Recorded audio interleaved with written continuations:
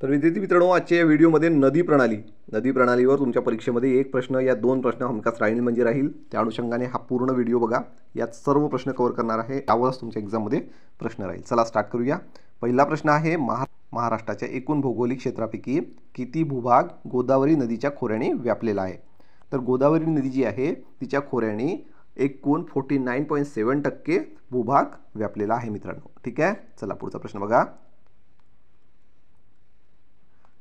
April दोन हजार तेवीसमध्ये महाराष्ट्रातील बारामती तालुक्यातील खालीलपैकी कोणत्या नदीत हजारो मृत मासे तरंगत असल्याचे आढळले?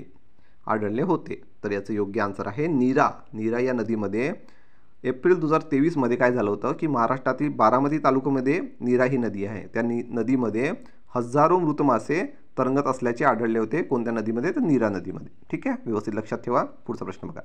खालीलपैकी कोणत्या नद्या महाराष्ट्र राज्यातून वाहतात? खालीलपैकी कोणत्या नद्या म्हटलेल्या आहे एकूण A B C D E एवढ्या नद्या दिलेल्या आहे. आणि याच्यामधल्या आपल्याला किती कोणत्या नद्या महाराष्ट्रातून वाहतात हे ओळखायचं आहे. तर पहिलं बघा कृष्णा ही नदी महाराष्ट्रातून वाहते. त्यानंतर सी नंबरचं ऑप्शन बघा पेनगंगा ही नदीसुद्धा महाराष्ट्रातून वाहते. आणि त्यानंतर ई बघा तापी नदीसुद्धा महाराष्ट्रातून वाहते. लक्षात ठेवा आय एम पी प्रश्न आहे पुढचा प्रश्न बघा.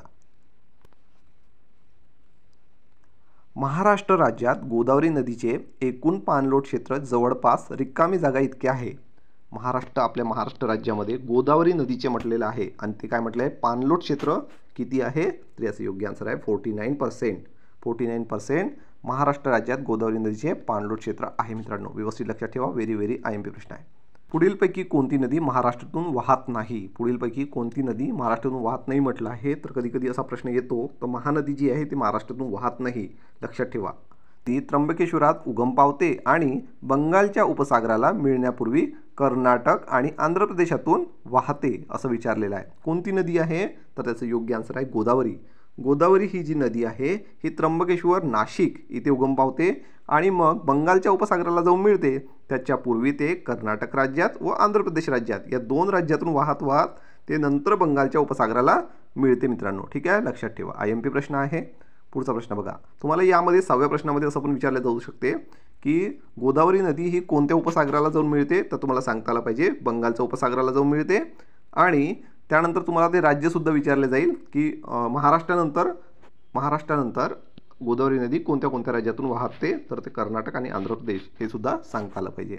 आणि त्याचा वर उगमसुद्धा विचारला गोदावरी नदीचा उगम जर विचारला तर तुम्हाला सांगता आलं पाहिजे की त्र्यंबकेश्वरला ही नदी वाहते. ठीक आहे? एवढ्याच एकाच प्रश्नात बघा किती सारे प्रश्न बनतात. म्हणून व्यवस्थित लक्षात ठेवा. गोदावरी नदीवर जास्तीत जास्त प्रश्न येण्याचे चान्सेस असतात मित्रांनो. ठीक आहे? चला पुढचा प्रश्न बघूया. खालीलपैकी कोणत्या नद्या गोदावरी नदीच्या उपनद्या आहेत? खालीलपैकी कोणत्या नद्या? गोदावरी नदीच्या उपनद्या आहेत. तर याचं योग्य आन्सर आहे पेनगंगा नदी मांजरा नदी आणि इंद्रावती नदी या गोदावरी नदीच्या उपनद्या आहे मित्रांनो. ठीक आहे? व्यवस्थित लक्षात ठेवा. चला पुढचा प्रश्न बघा. गोदावरी नदीवर बांधलेले जायकावाडी धरण महाराष्ट्रातील कोणत्या जिल्ह्यात आहे? जे गोदावरी नदीवर जायकावाडी हे जे धरण बांधलेले आहे ते महाराष्ट्रातील कोणत्या राज्यात आहे? तर औरंगाबाद. औरंगाबाद जिल्ह्यात आहे. सॉरी औरंगाबाद जिल्ह्यात आहे. ओके? लक्षात ठेवा. आता औरंगाबाद जिल्ह्याचं नाव आहे संभाजीनगर. चला पुढचा प्रश्न बघा. गोदावरी नदी महाराष्ट्रातील नाशिक जिल्ह्यातील टेकड्या त्र्यंबकेश्वर त्र्यंबकेश्वरजवळ पश्चिम घाटात रिकामी जागाच्या उंचीवर उगम पावते. किती उंचीवर उगम पावते? तर याचं योग्य आन्सर एक हजार सदुसष्ट मीटर उंचीवर ही गोदावरी नदी जी आहे ते त्र्यंबकेश्वर मध्ये उगम पावते मित्रांनो. ठीक आहे? लक्षात ठेवा. चला पुढचा प्रश्न बघा. खालील पर्यायामध्ये कृष्णा नदीच्या उजव्या तीराच्या उपनद्या कोणत्या आहे? उजव्या तीराच्या म्हणजे उजवीकडल्या नद्या कोणत्या आहे? तर याचं योग्य आन्सर आहे पंचगंगा नदी तुंगभद्रा नदी आणि कोयना नदी. ठीक आहे? काय म्हटलं आहे उजव्या तीराच्या म्हटलेलं आहे. तर लक्षात ठेवा पंचगंगा नदी तुंगभद्रा नदी आणि कोयना नदी. ठीक आहे? चला पुढचा प्रश्न बघा. गोदावरी नदी खालीलपैकी कोणत्या जिल्ह्यातून वाहते? गोदावरी नदी जी आहे ती कोणत्या जिल्ह्यातून वाहते? तर सातारा जिल्ह्यातून वाहते. ठीक आहे? पुढचा प्रश्न बघा. खालीलपैकी कोणती नदी महाराष्ट्र राज्यातून जात नाही? ठीक आहे महाराष्ट्र राज्यातून जात नाही म्हटलं तर फाल्गुन नदी. फाल्गुन नदी जी आहे ती महाराष्ट्रातून जात नाही. ठीक आहे चला पुढचा प्रश्न बघा. महाराष्ट्रातील महाराष्ट्रातील खालीलपैकी कोणता जिल्हा कृष्णा खोऱ्यात येत नाही? महाराष्ट्रातील खालीलपैकी कोणता जिल्हा कृष्णा खोऱ्यात येत नाही? त्याचं योग्य आन्सर आहे रत्नागिरी. रत्नागिरी जिल्हा हा कृष्णा खोऱ्यात येत नाही मित्रांनो. ठीक आहे? चला पुढचा प्रश्न बघा. महाराष्ट्रातील खालीलपैकी कोणत्या धरणाला मो मोडक सागर धरण असेही म्हटले जाते? मोडक सागर धरण कोणाला म्हटले जातं? तर याचं योग्य आन्सर आहे वेतरणा धरण. वेतरणा धरणला मोडक सागर धरण असं सुद्धा म्हटले जाते. महाराष्ट्रातील खालीलपैकी कोणता जिल्हा कृष्णा खोऱ्याच्या कृष्णा खोऱ्यात येतो कृष्णा खोऱ्यात येतो असं विचारलेलं आहे तर याचं योग्य आन्सर आहे अहमदनगर आणि सोलापूर. अहमदनगर आणि सोलापूर हा जिल्हा कृष्णा खोऱ्यात येत असतो मित्रांनो. ठीक आहे? पुढचा प्रश्न बघा. जायकावडी धरणाच्या संदर्भात खालीलपैकी कोणते विधान बरोबर आहे असं म्हटलेलं आहे?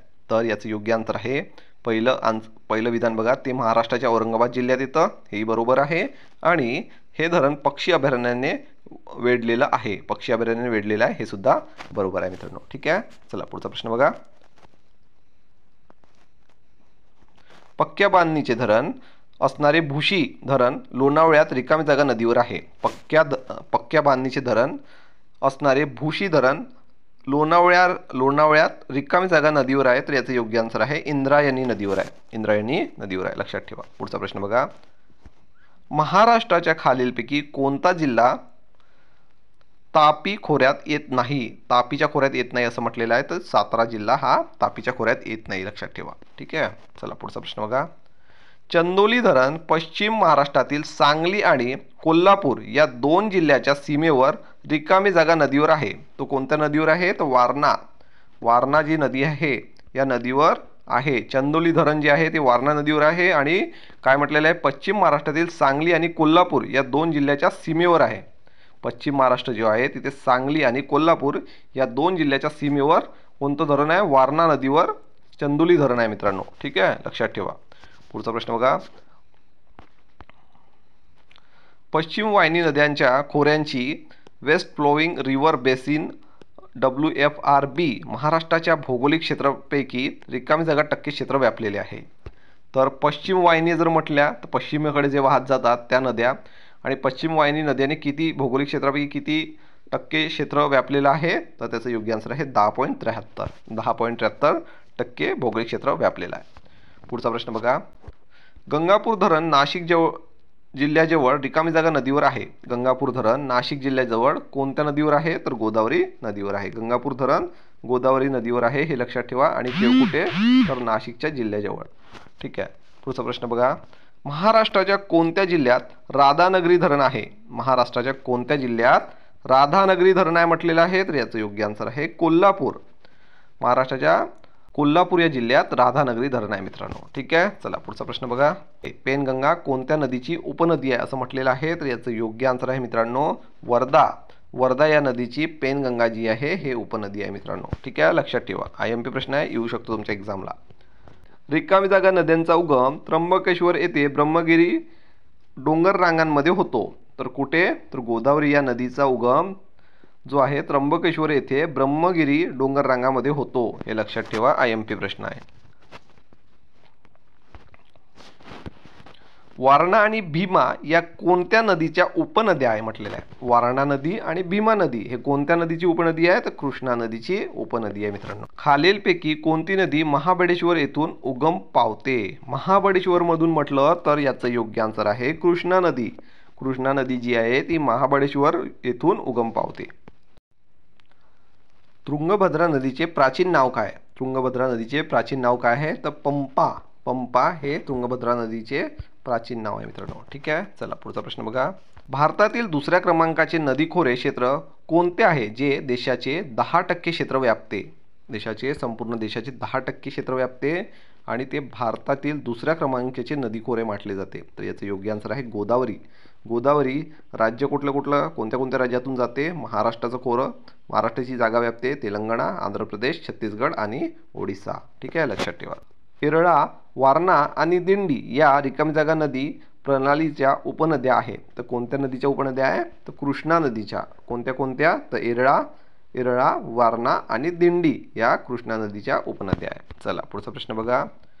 कोल्हापूर शहर खालीलपैकी कोणत्या नदीच्या काठावर वसलेला आहे? कोल्हापूर शहर हे कोणत्या नदीच्या काठावर वसलेलं आहे? हा प्रश्न भरपूरदा एक्झाममध्ये विचारलेला आहे.